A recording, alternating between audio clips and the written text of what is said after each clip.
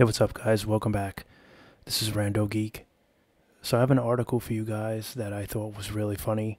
Um, well, kind of funny, uh, based on the title, but it's actually interesting where things are going with this whole chat GPT and everything.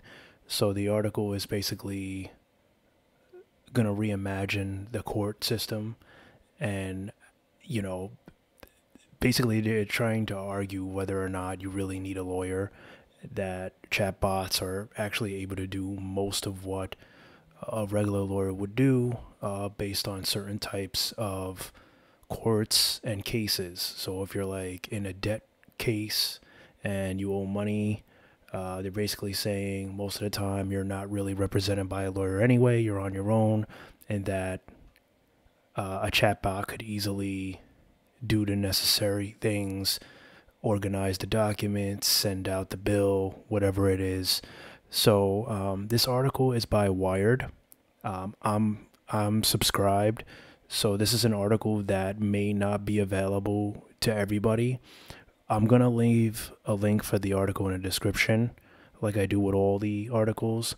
However, um, you there may be a paywall, so you may or may not be able to read the article. I think Wired's rules or you maybe can read one or two articles before they try to spam you with a, a pay, you know, uh, subscribe now in order to continue reading thing. So I'll leave a link for you guys. If it's not working, um, let me know. You can hit me up in the about page.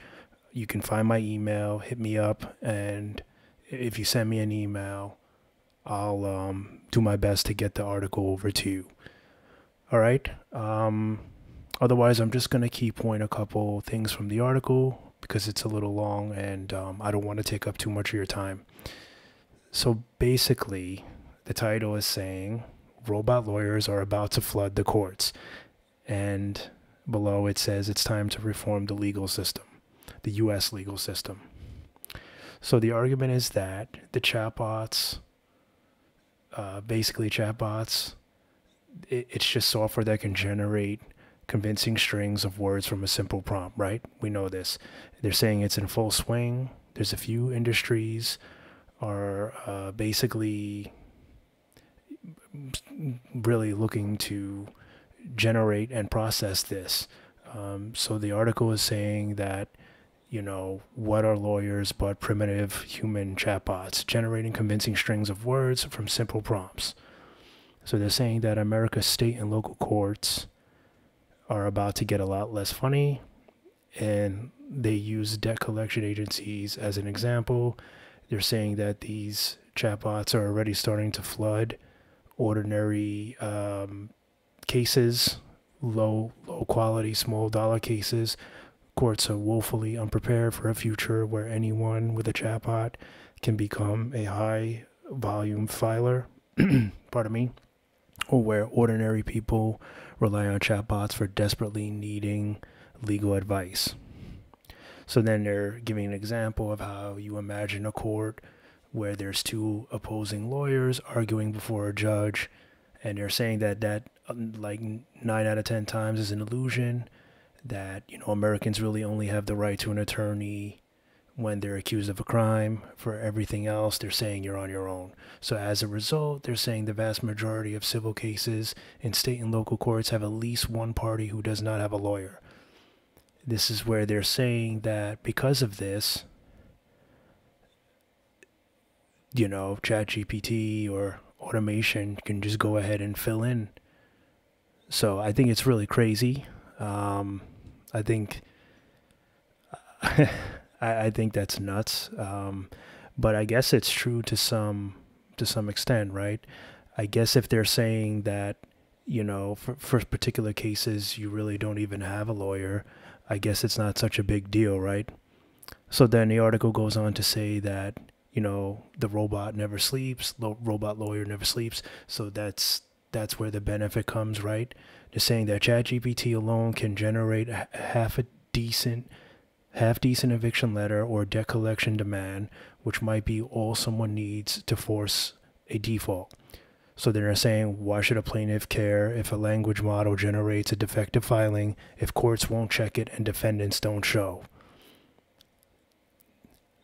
From there, it's easy to see how large language models can help the powerful use how help powerful help the powerful use the legal system as a cudgel.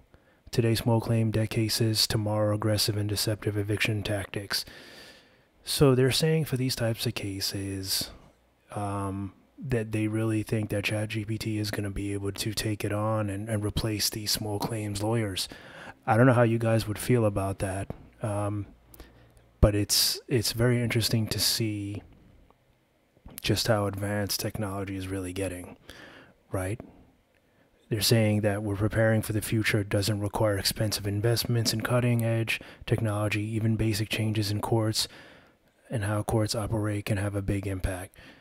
Well, this is this is going to be a major thing, um, I think, and I don't know. I don't know how I feel about that. I mean, to me, it's just the start of something uh, a little dangerous, if you ask me. But, um, you know, I don't know, guys. I'm not sure what to think of this. Uh, like I said, it's pretty pretty long, but not too long. Maybe about a five minute read.